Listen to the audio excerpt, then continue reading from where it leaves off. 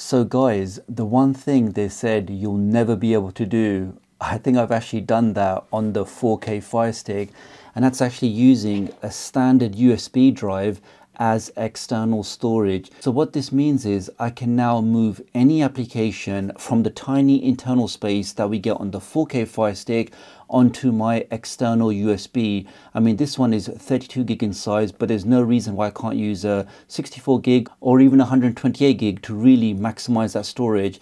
Now, I've already done that for a couple of applications, and the way you know that they're actually on the USB drive and not on the internal storage is they have this USB logo here, guys. Now, before I continue, I do have to give a massive shout out to the guys both on Reddit and also on the XDA forums. I mean, those guys have actually rooted this, which I may actually do for another video, but those guys really do deserve all the credit. So this application is on my USB drive, scrolling down, and for example, this application is on my USB drive. So really guys, one of the biggest issues with the 4K Fire Stick is just the fact that you really get no storage whatsoever and there's no real way of expanding that storage until today. So click on launch and this is now launching from my USB drive guys and as you can see that's pretty much instantaneous. So in this video today let me show you exactly what you need to do what bits of equipment you need and a process that you can follow so you can now start migrating all of your installed applications onto your external USB drive. Coming up right after this. If you're new to the channel and you want to stay up to date with the latest tech tutorials, the latest Fire Stick, Android and Android TV tips and tricks, then please do subscribe and hit the notification bell. It's a small click from you, but it makes a big difference to me. Thank you. Okay, so for this process to work, we need to have a couple of things. Firstly, we need to have an OTG cable. Now you can pick these up for a couple of quid from Amazon or from eBay, but essentially you get this cable, you plug this into the normal power port. In fact, let me just show you. So here's my second generation Fire Stick, which really did serve me well. So you plug this into the normal power port of your device, like so, and then you plug in the power cable into here and you now have a full size USB port. Now in this USB port you can add in you know USB keyboard, USB mouse or even a USB hub. But in my example I'm going to plug in a USB 3 flash drive. Even though this port is only USB 2 I'm still going to plug in a USB 3 drive. Now this is probably one of the most critical part of this whole process because the flash drive you use or the drive you use really determines whether this process is going to work or not.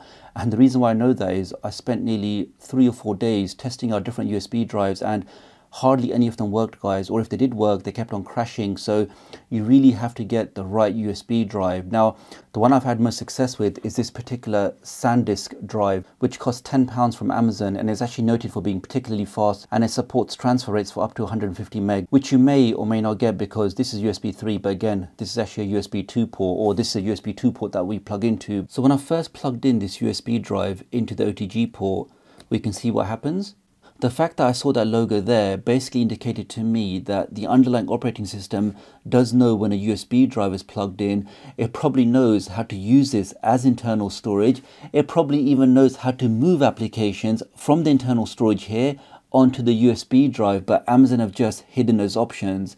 Now this is where the beauty of ADB comes in, Android Debug Bridge, because that allows us to interface with our Fire Stick over command line.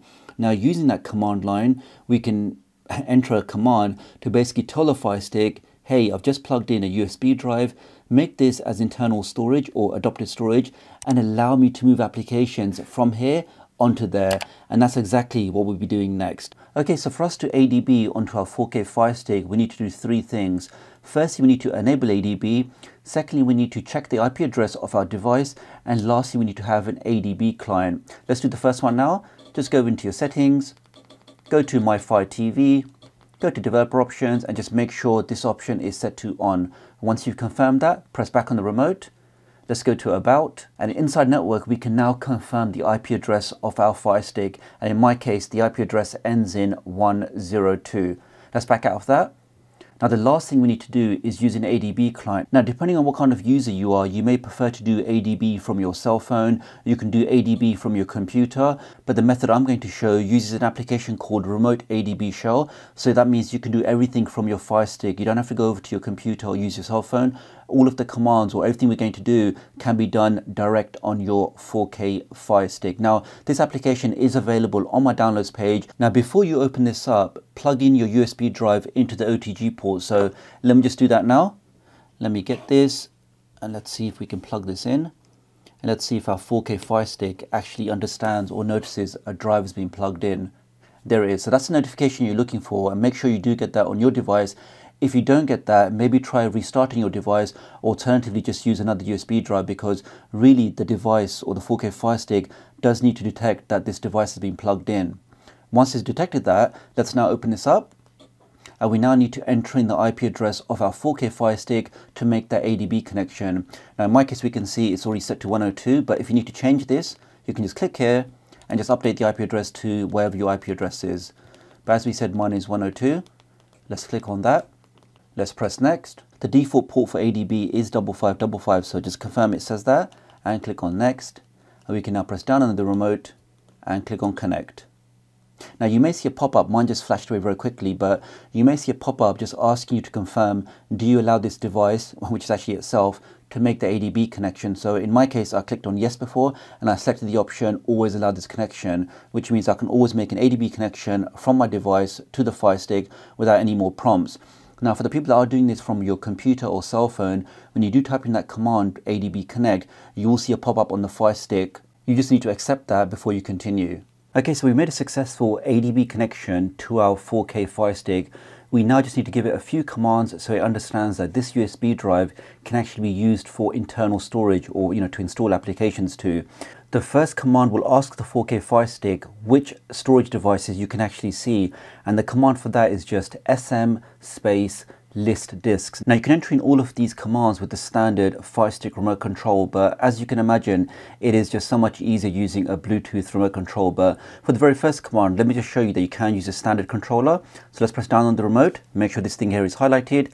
Let's press the select button, and let's now enter in that command, which is just S, M, space, list, hyphen, and then disks. So D I S K S. Let's type that in and we can click on run or you can press the play button on your remote. Let's do that now. Let's press the back button and here we can see the result here. So it's identified one disk that it can use as internal storage and the disk ID for that is 8, 0. Now when you do this on your device, you may come up with a different ID and this ID is very important because the next command we're going to enter is going to format that drive, but you have to give it a particular disk ID. So just make sure you do use the correct disk ID. Now for the second command, we're going to format this drive as internal storage. Now we have two options here.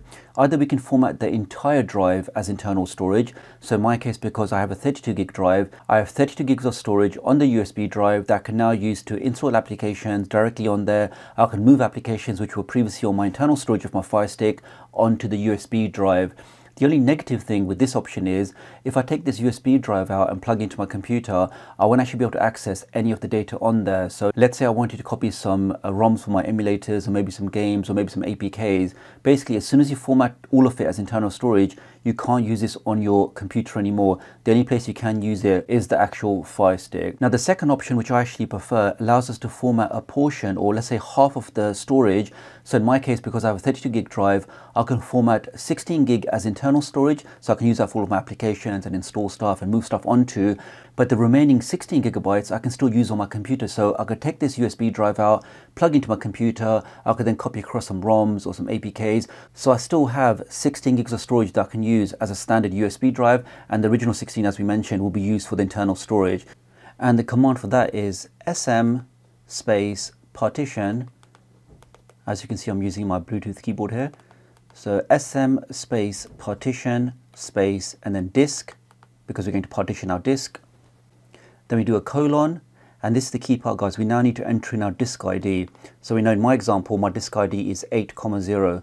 So let me now enter in 8, comma 0 space. Now, if you do want to go for the first option, which is format the entire USB drive as internal storage, just type here private and then run that as the command. And this will then format all of it as internal storage. Now in my case, because I'm going to go for the mixed option, the command is mixed, which basically means I want to use some as internal and some as normal USB storage. And you then need to enter in a percentage. So because I'm going to go for 50-50, I'm going to enter in here 50, which once again means 50% of my USB drive will be used for internal storage. I can install applications and move applications, etc. And the remaining 50% I can use as a standard USB drive on my computer or anywhere else. Okay, let's now press enter. Let's see if that works. Now you will see for a second that it looks like that the USB drive has actually been moved, but that's just the command taking effect and we can see it then reinserts itself. Let's give that another second. And that's it guys. So if you don't want to really move any applications, from this point forward, any application I now install onto my 4K Fire Stick will be installed directly on the USB drive automatically. So let me just quickly show you that now. Okay, let's press the home key. Let's now see, for example, if I download an application from Downloader. I should have some downloaded already. Okay, so here is FileLink. This is a 9 meg application. Let's now install this onto a USB drive. Okay, let's click on install. Okay, let's click on done. Now before we open it, let's go into settings. Let's just verify exactly where FileLink has been installed. So let's go to applications. And here we can just see guys, we have 1.74 gigs of space available right now. Let's go to manage install applications. Let's scroll down and here we can just see guys, this application is now running directly from the USB drive. So well, if you guys are impressed with this, then please do take a minute to press the like button and also think about subscribing if you do want to see more tutorials on the 4K Fire Stick, on the second generation Fire TV Cube, and even the brand new NVIDIA Shield Pro, and even your standard Android boxes. So if you do want to see more tutorials on all these devices, then definitely do hit that thumbs up and do think about subscribing. Thank you. Okay, let's back out of that. So we now prove that any new application that we install now will automatically go straight onto the USB drive, which won't take up any more space from our internal storage. Now, the other thing you may want to do is actually move applications. So move something that you've already installed that was previously on your internal storage. How can we move those applications onto our USB drive? So for that, let's pick two applications.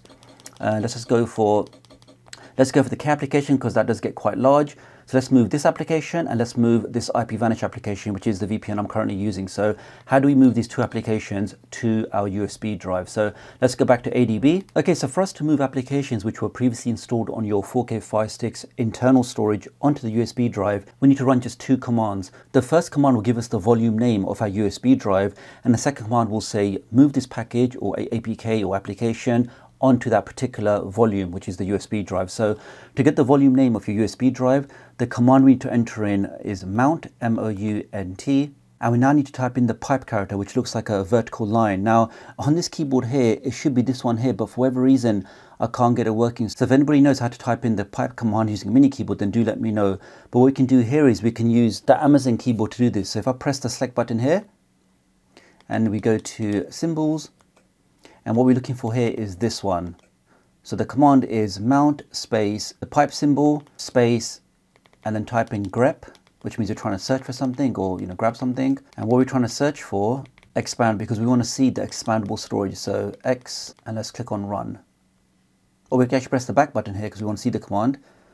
And I can now press enter on the remote or click on run. Let's run that. And there is guys, so this long string of characters here is the actual volume name of our USB drive and that's the volume name we need to tell the Fire Stick when we want to move applications from the internal storage to the USB drive. So let's do that now. Let's start by moving the K application. Now, now the command to move any application to the USB drive is just pm space move package space the package name and then the volume name. So in the example of the K application, um, if you don't know, the actual uh, package name for that is org.xbmc. Dot, and then the you know kodi you know the k word. Um, so let's say for example we want to move that now. But let's say you don't know what the package name is. So one command you can type in to list all of the package names installed on your 4k fire stick is just pm space list packages. Because basically you're asking the device now show me which packages are already installed. Let's press enter and here we can see all of the applications or packages that are installed on my 4K Fire Stick. So if I just scroll up, and we can find here, for example, you can see uh, Clean Master. Here's Termux, that's the application I'm using right now. Um, let's scroll up again. Uh, let's see if we can find, and there it is guys. So that is the one. So that's the one for the application. So let's now actually move this application to my USB drives. So now that we have the package name of the application we want to move, let me just bring up the volume name again. Now, if you do want to enter in a command that you previously entered, just make sure that the bottom line is highlighted. If it's not, just press down on the remote. We can see it's highlighted now. Then press and hold the select button. This will show you all of the commands that you previously typed in. So here is the command, for example, to see the volume name. Let's click on that. Let's press run. Let's back out of this. And here we can see again, guys. So this is the volume name that we need. So I'm actually going to copy and paste that. So let's just click here. Okay, so I've got all of the volume name highlighted. Let me click on copy and let's now actually type in the command guys to move the K application. So again, the command is pm move hyphen package and then the package name. So as we know with the K application is just org dot xbmc, which was the original name of the K application dot and then that. And we can now paste in the volume name. And the shortcut to paste anything is just control V. Let's try that now. And that's the volume name. So it's PM move package. This is the package name I want to move and this is the volume I want to move it to. So let's press enter and let's see if that works now am I talking total rubbish or what? But we can see here guys I've just made a total mistake because instead of writing XBMC I wrote XMBC so my mistake there. Again we know now to bring up the last command you typed in I can just press and hold the select button. Okay, so I'm probably going to cut that out if I remember to. Um, and let's just make sure, let's go back out of here. And let's just make sure we've now actually typed in the correct package name, which we know is XBMC, Okay, so we've got the correct package name there now, so XBMC. Let's try that again. And this should now start moving the application from the internal storage onto the USB drive. And you get the success message guys. So now in theory if we go out of this remember we had 1.67 uh, gigs of space left? And we can see our free space has gone up because the application has been moved. And if I go into manage and install applications let's scroll down I'm hoping that the K application has that new logo next to it so this application now is 100% running from my USB drive which now frees up all that space from internal storage and of course if I launch it Let's see how quick this application launches. And there, so guys, so maybe five seconds, maybe a couple of seconds longer than the internal storage, but the main thing is we're now not limited to the very low storage of the 4K Fire Stick. We can now use our USB drive to greatly increase that storage. And we can see this application is working absolutely fine. Let's back out of this. And then for the last test before we go, guys, let's move one more application. Let's move IPVanish. So again, we should be quite familiar with this now. So first we need to find the package name for IPVanish. Um, now, if you want to search for a package name, what you can do is you can type in pm list uh, packages, and we can use the grep command again because we're now searching for something. So let's type in the pipe symbol. Let's type in grep, and I guess it probably will be called vanish. So let's just type in, oh, let's type in IPV, and let's see if we can find which applications or which packages have that in their name. Okay, let's run that. And there it is guys, so that is the package name for IPVanish and we can see how I basically found that. Okay, so let's now actually move IPVanish to the USB drive. So again, the command is just pm space move package, then the package name. So for us, it's just com dot i x o l i t dot ipvanish. That's the package name there and then space, and then we need the volume name again. So let's just press Control V, that should be in my copy paste history. There it is. And let's see if this works first time. Let's press enter. Now within five, four, three, two, one. And we have a success guys. So we've now also moved this application from the internal storage onto our USB 3 drive. So guys, I really do hope you found this video useful. So many of you are asking, especially when I made the how to expand storage on the Fire TV Cube, which is just obviously so much easier because it's actually built into the operating system. So many of you are asking, can we actually do this on the 4K Fire Stick? And I did say to you guys, I'm going to try my best to find a solution. Uh, we can see the space has gone up even more. And it looks like I've actually found a working solution. So again, if you did find this video useful, guys, there is, guys. If you did find this video useful, then please do take a moment to press the like button. Also share this video, guys. Share this video on Facebook or whichever social networks you're using because really just sharing my videos, leaving comments, and of course subscribing is the best way to help me out. So for all of that, many thanks guys. Do let me know what you thought about this video. Leave me a comment below and I'll hopefully catch up with you guys real soon. Thanks.